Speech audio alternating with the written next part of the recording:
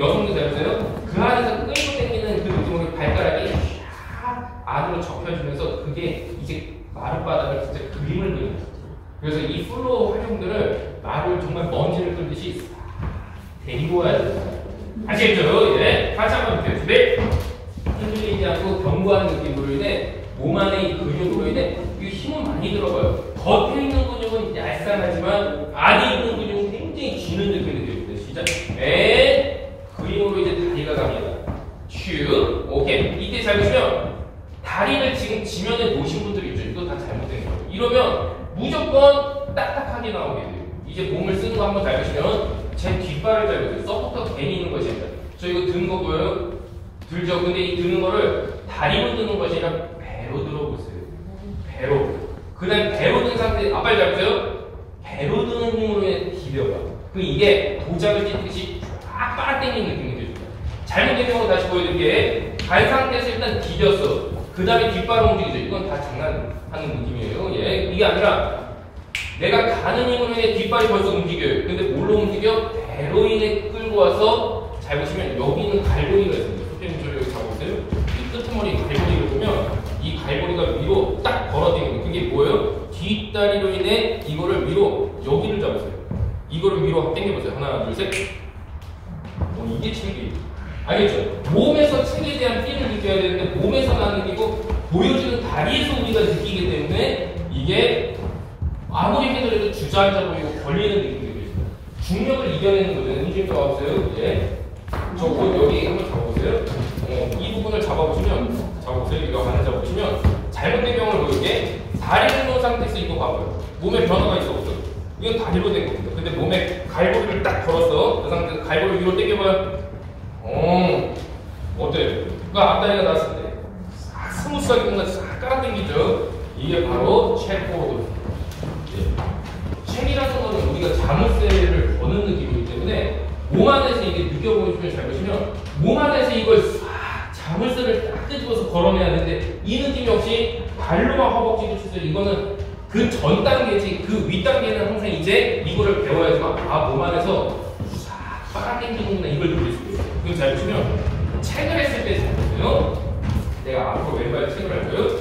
그냥 같은데 다리 위로 가면 정말 이걸 찾으려고 해도 뭐지 뭐지 무슨 말인지 몰라요. 느낌이 안 온다고. 근데 여기서부터 벌써 뒷발부터 샥 땡기는 느낌이면 몸 안에서 지금 소피아님의 오른발을 위해 엉덩이까지 타보는 그 느낌이 샥 빨아당기는 느낌이 들거든요.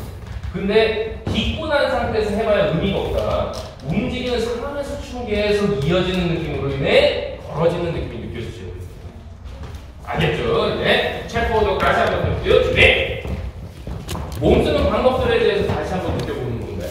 우정쌤이 늘 얘기하는 공중에서 계속 떠올라서 계속 헤엄을 치는 그 느낌이 도대체 뭐냐? 다리로 하는 것이 다리는 찢어져 있지만 배 안에서 쥐는 느낌으로 데리고 와서 배 안에서 벌써 겁니다. 그 힘을 쫙 걸렸어요. 그 상태에서 이제 풀어줍니다. 근데 또 다리를 데리고 올 때 어때요? 배는 또 갈고리를 본 상태에서 쫙 쥐면서 이걸 데리고요. 이거 힘 없잖아요? 그럼 몸이 벌써 엉덩이에 빠집니다.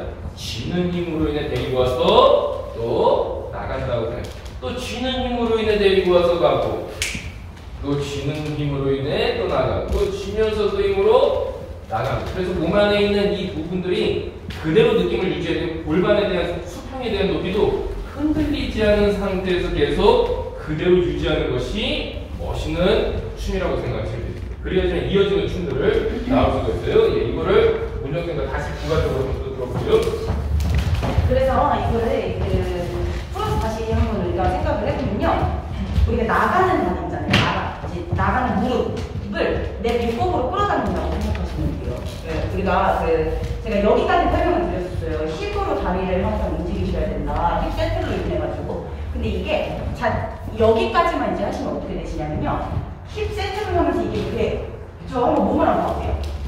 이게 주저앉아요. 이게 그래서 이거를 물론 hip set로 다리를 가져오시는 거는 맞지만 거기에다 부가적으로 뭘 하셔야 되냐면 내 이제 코어를 당기시면 세트를 하시더라도 코어를 당기시면서 내 다리를 갖고 오는 이제 연습을 우리가 해주셔야 돼요. 그럼 자꾸 어떤 느낌이 드실 거냐면 내가 이 나갈 다리 나갈 다리로 계속 내 배를 찔러넣는 느낌이 나실 거예요.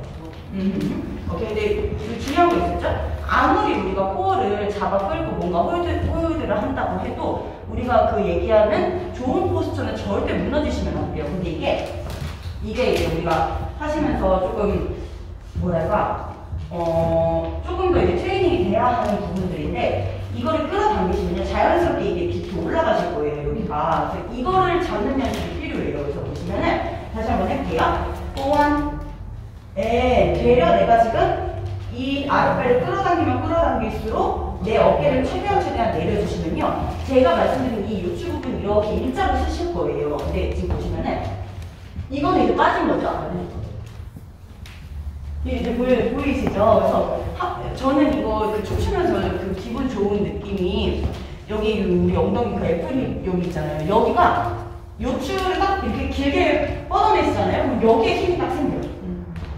음. 그래서 우리 같이 apple hip을 apple hip을 만들어 좋아요. 네네. 다시 한번 해볼게요. 시작. four one 에.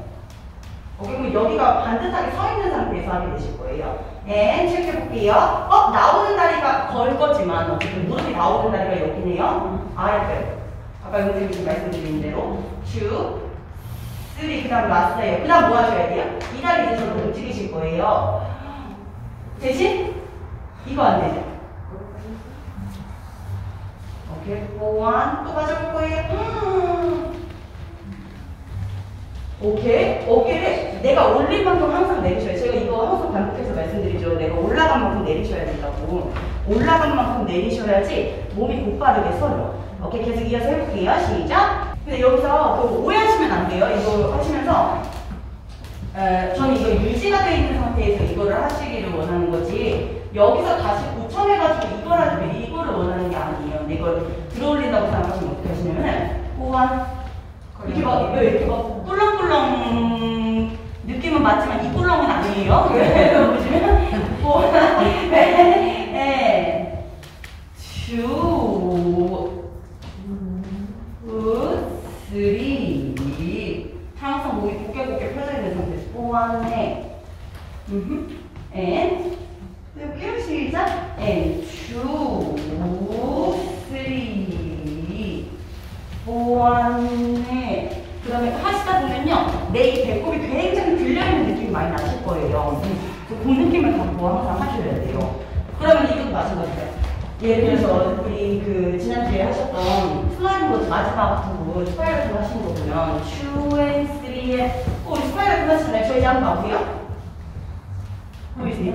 오케이? 이거를 그냥 다리를 이렇게 들어올리려고 하시면 이 중심 잡기가 어려워요. 그래서 코어가 굉장히 중요해요. 춤을 추건 스포츠를 하실 때는요.